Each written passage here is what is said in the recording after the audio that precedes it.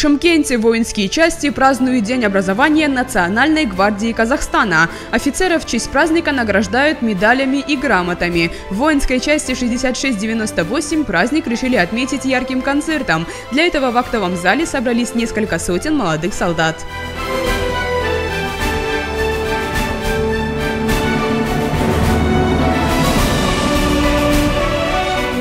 10 января 1992 года указом президента были образованы внутренние войска МВД Республики Казахстан. 21 апреля 2014 они были преобразованы в Национальную гвардию Казахстана. Ее задачей является обеспечение безопасности общества и государства.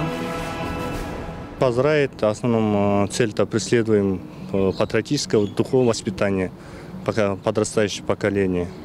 И значим, что Национальная гвардия всегда стоит охране правопорядка. Молодые солдаты Национальной гвардии охраняют государственные объекты, участвуют в охране общественного порядка, осуществляют контроль и надзор за лицами в исправительных учреждениях. В воинской части 6698 служит молодой офицер, который за свою храбрость и отвагу был награжден орденом Айбын третьей степени. Он дается за самоотверженность при исполнении воинского и служебного долга. В 2010 году Ербол Отарбаев, так зовут нашего героя, проходил срочную службу в Актау и помог предотвратить побег большой группы группы вооруженных заключенных из Актауской колонии строгого режима. Он ликвидировал троих преступников, а сам был ранен.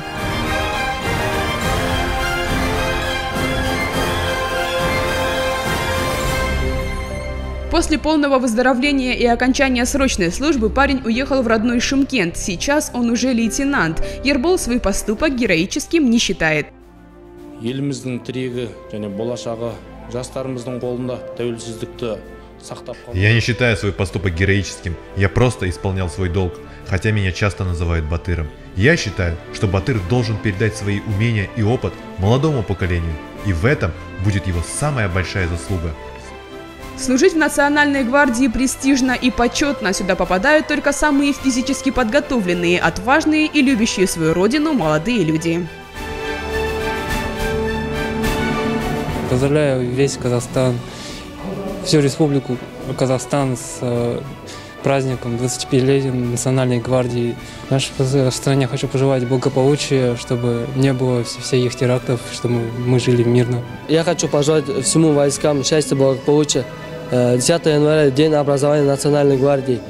Я хочу пожелать э, всем здоровья, что все, все у нас было хорошо, чтобы наши войска стойко охраняли нашу страну, что наша страна в дальнейшем процветала и, и добивалась больших целей.